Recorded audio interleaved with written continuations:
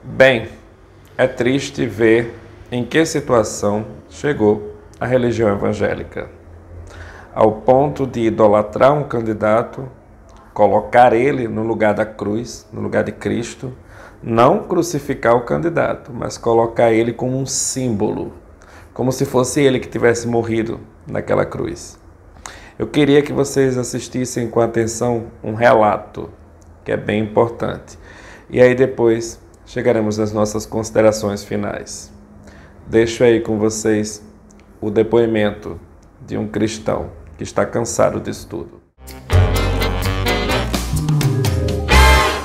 Aí galera, antes que eu me esqueça, vem aqui embaixo, se inscreve no canal, não custa nada, dá um like, compartilha, assim você ajuda o canal do Tio Em primeiro lugar, quero é, parabenizar vocês pela audiência e também pedir desculpa pelo que eu vou falar, porque eu tô até com vergonha de falar isso, mas é, 20 anos que eu sou evangélico, né? Aqui na igreja, aqui no, no, nos bancários. Vou com minha esposa, com minha filha para a igreja todo domingo. Mas estou muito triste, muito triste mesmo. Porque todo domingo que eu vou para a igreja, eu vou com a minha família para escutar a palavra de Deus, para cantar louvores, esquecer meus problemas. Mas infelizmente o que a gente escuta hoje na igreja é sempre o pastor, os irmãos falando de política, pedindo voto, falando de A, de B. Não quero saber de político A, de político B. Eu quero ir para a igreja para ouvir a palavra de Deus. O meu amigo, qual o seu nome? Luciano. Seu Luciano, é. Na sua igreja, o pastor chegou a pedir voto no altar da igreja? Infelizmente, é- essa é a minha decepção. O pastor é chegou a falar o nome do candidato, dizer vote no candidato tal. Vote no candidato tal, vote. Eu não quero falar de lado, Certo. porque Certo, eu, certo. Eu, eu, eu não sou A, não sou B. Certo, e a gente agradece eu quero, essa eu quero sua. exercer o meu direito de votar. Certo. Mas eu fico muito triste porque eu, a- eu vejo os irmãos da igreja brigando, a gente vê um clima diferente. Qual, uma- qual é o pastor? O senhor poderia dizer o nome do pastor? Eu não, não queria, porque infelizmente eu participo de louvor. E você congrega lá e ele pode reconhecer sua voz, viu? desculpa a vocês por isso. Certo. Então esse pastor está pedindo abertamente votos na igreja para um determinado candidato. Abertamente e, e tem mais, né? Fala coisas que a gente fica triste, que se não votar no candidato tal, a gente tem que fazer isso Tá e vendo, vai deixar assim. É, infelizmente, eu quero pedir desculpa às pessoas também, talvez alguém esteja passando por isso, mas é Desculpa triste, não, é, o senhor está mais que correto. A gente tem que reconhecer a sua atitude, a sua fala e a sua coragem. Disso que tem acontecido nos templos e nas igrejas, que não são locais intocáveis. Nós temos que entrar nessa briga também. Tem gente que fala, ah, nisso eu não vou me meter, não. Isso é um assunto de todos nós. Claro. Não é casa dos outros, não, é um coletivo.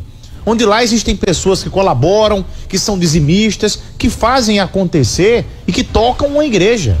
E ficamos tristes, Braz, quando nós assistimos esse cenário de verdadeiros comícios que são feitos nas igrejas. Isso não pode acontecer para nenhum candidato, seja padre, seja pastor. Eu volto a dizer aqui a linha de pensamento que tenho. Sou um defensor, sou um cristão, sou um admirador da igreja. Eu acho que a igreja exerce um papel fundamental, essencial, do ponto de vista espiritual, humano, social, em todos os itens que você imaginar, a igreja ela colabora com a sociedade. Mas a igreja jamais ela pode servir de palanque de um comício para determinado candidato. Seja católico, evangélico, não pode ser isso. Agora, fora da igreja, aí eu defendo que o padre, que o pastor, que o bispo, que todos participem. Mas no altar, você não está sendo correto com o Senhor. Você está Essa- sendo injusto com o seu Deus, está sendo injusto com a sua crença, está sendo covarde com o seu povo, para muitas vezes mentir, manipular as pessoas que frequentam a sua igreja, muitas vezes para atender interesses pessoais. Você é líder religioso, a imprensa precisa despertar os olhos para essas pessoas. Líder religioso não é intocável, não, tem que ser questionado. Tem que ser contrariado sim quando tá errado. Agora, essa do, de alguém de uma liderança religiosa dizer vote no candidato tal e se o fiel não votar ele será punido, isso não existe. Isso é um estelionato que está sendo cometido, é um crime. Tem que ser denunciado isso, Braz. Não pode acontecer, não. Esse desabafo de Luciano dos bancários é o desabafo de milhares de cristãos aqui do Brasil, seja de denominação religiosa A, denominação religiosa B.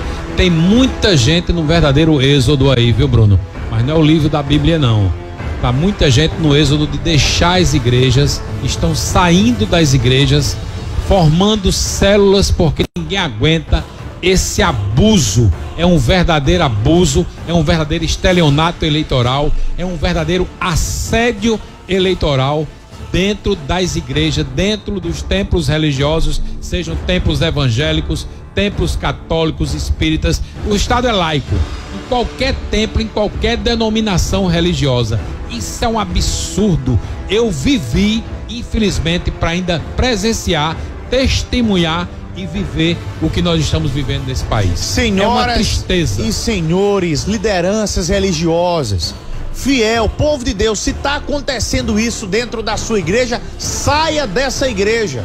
Não é o local, não é o templo adequado, não é o local sagrado que o Senhor escolheu para você. Eu tenho certeza que não. Alguém que muitas vezes vende o fiel. Vende o fiel.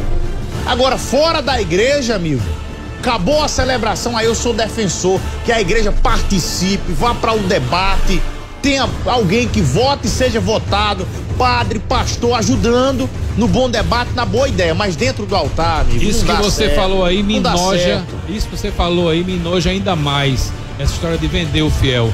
Eu sou pastor, eu sou padre de uma denominação religiosa, eu chego para negociar, negociar com a classe política, eu digo, da minha igreja, são 20 mil membros. Peraí, rapaz. Eu vou falar para eles acompanhar politicamente o senhor, a senhora tal. É uma tristeza, cada vez mais eu fico enojado com essa raça de víboras. Raça um de víboras. A conta chega. À aqui, vista, à vista. Aqui na terra nós até muitas vezes enganamos as pessoas, mas ninguém consegue enganar Deus. O julgamento final, ele acontece para todos nós, é individual. Não tem como fazer teatro, não tem como. Não tem como fazer teatro enganando a Deus. Não tem como mentir, não tem como ser bom de lábia. Não tem como, ah, sou isso, sou aquilo. É só você e Deus. Só eu e Deus e mais ninguém. E os olhos de Deus estão em toda parte, viu?